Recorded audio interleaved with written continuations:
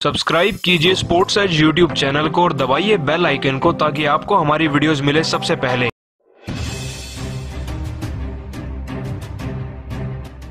अगर आप भी रोहित शर्मा के दोहरे शतक से खुश हैं तो वीडियो को लाइक करना नहीं भूलिएगा।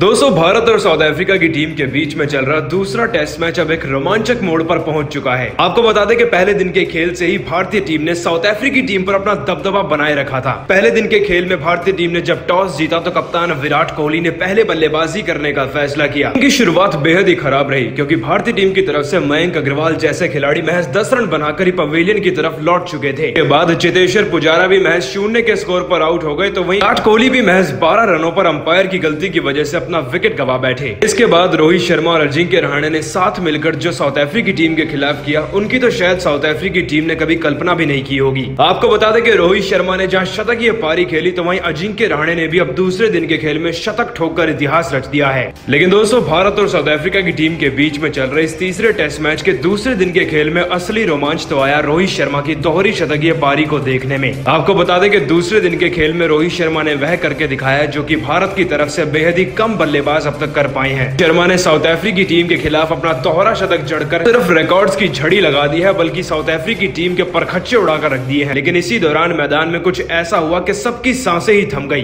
दोस्तों, आपको बता दें कि लंच से पहले रोहित शर्मा एक सौ निन्यानवे रनों पर बल्लेबाजी कर रहे थे। लेकिन उसी दौरान रबाड़ा के लंच से पहले चल रहे सत्र के आखिरी ओवर में कुछ ऐसा हुआ कि जडेजा ने रोहित शर्मा का विकेट बचा लिया। पहले तो आपको बता दें कि यह पूरा वाक्य पारी के पिचासीवें ओवर का। इस दौरान गेंदबाजी करा रहे थे कगीसो रबाड़ा और बल्लेबाजी पर थे रोहित शर्मा। इस ओवर की पहली गेंद से रोहित शर्मा एक सौ छियानवे रनों पर खेल रहे थे। लेकिन जैसे इस ओवर की पहली गेंद पर रोहित शर्मा ने कवर ड्राइव शॉट लगाना चाहा तो गेंद उनके पैड पर लगकर विकेट के काफ़ी करीब चली गई थी। शर्मा का विकेट पूरी तरीके से खतरे में आ गया था और इसी बात को देखकर सबकी साँसें थम गई। लेकिन अभी असली ड्रामा तो बाकी था। आपको बता दें कि इस ओवर की तीसरी गेंद पर जब रोहित शर्मा ने एक शॉट खेला तो उस पर दो रन लेने चाहे। अब गेंद दायरे के अंदर थी और जैसे ही रोहित शर्मा अपना दूसरा रन पूरा करने वाले थे। में तैनात फील्डर ने अब गेंद को स्ट्राइकर एंड की तरफ़ थ्रो कर दिया था। शर्मा बाल बाल बचे और वह स्ट्राइकर एंड की क्रीज में दाखिल हो गए, लेकिन इस दौरान रविंद्र जडेजा ने काफ़ी तेज रनिंग करी। के कारण ही रोहित शर्मा अपना दूसरा रन पूरा कर पाए हैं। आपको बता दें यह दूसरा रन लेने का कॉल रोहित शर्मा का ही था।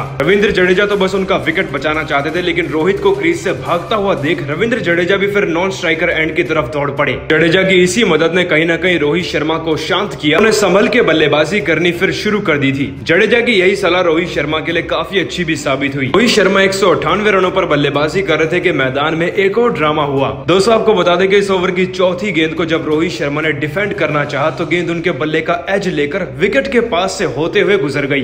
गेंद विकेट में भी लग सकती थी और स्टंप गिर सकते थे। रोहित शर्मा का विकेट जा भी सकता था और वह भी एक सौ निन्यानवे रनों पर। यह वाक्य सबसे ज़्यादा चौंकाने वाला था और यही वो वाक्य था जिसने सबकी साँसें थमा दी। हालाँकि इसके बाद रविंद्र जडेजा ने एक रन भाग कर पूरा किया और बड़ी समझदारी से काम भी लिया। क्योंकि दोस्तों, जडेजा ने अगली ही गेंद पर चौका जड़ा, जिससे दोनों ही खिलाड़ियों के बीच में प्रेशर तो रिलीज़ हो चुका था। फिर इस ओवर की अंतिम गेंद पर रविंद्र जडेजा ने सिंगल रन नहीं लिया ताकि रोहित शर्मा का विकेट सलामत रहे। तो इसे लग कह लीजिए या फिर रविंद्र जडेजा की समझदारी, जिन्होंने रोहित शर्मा का इस एक ओवर में इतनी ज़्यादा बार साथ दिया उन्होंने न सिर्फ़ रोहित शर्मा के एक सौ निन्यानवे रनों पर विकेट बचाया, बल्कि रोहित शर्मा के लिए अपनी महानता भी दिखाई। लेकिन दोस्तों, जडेजा की रोहित शर्मा के लिए इस महानता पर आप क्या कहना चाहेंगे? इस बात का जवाब नीचे कमेंट सेक्शन में ज़रूर दीजिएगा। और ऐसी सभी ताज़ा खबरों के लिए अभी सब्सक्राइब कीजिए हमारे चैनल को। धन्यवाद।